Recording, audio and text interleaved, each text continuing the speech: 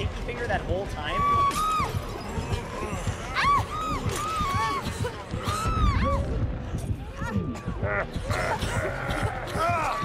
I can't see.